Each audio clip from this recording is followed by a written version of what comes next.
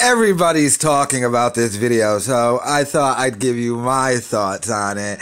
Uh, it's Sam Tripoli with uh, his sugar mama, his girlfriend, who is 65 years old. So let's go ahead and check this out.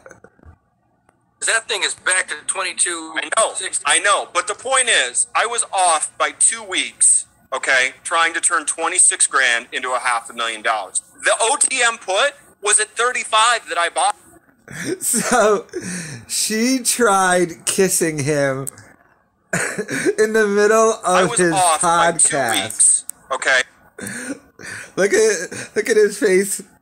Like, what are you doing, you old hag? See, it's come to light that uh, Sam Tripoli does live with the elderly woman who is his girlfriend, and she just tried to kiss him on camera. And because I was always wondering when Sam Tripoli was doing his um, streams from his house, I was like, why is his refrigerator so old?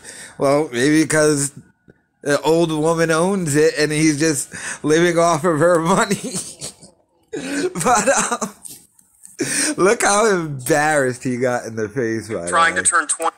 Uh, Look at that face like, what is this old biatch trying to do? Trying to embarrass me?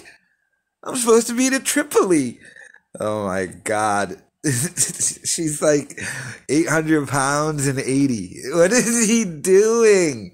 Uh, Tripoli. I,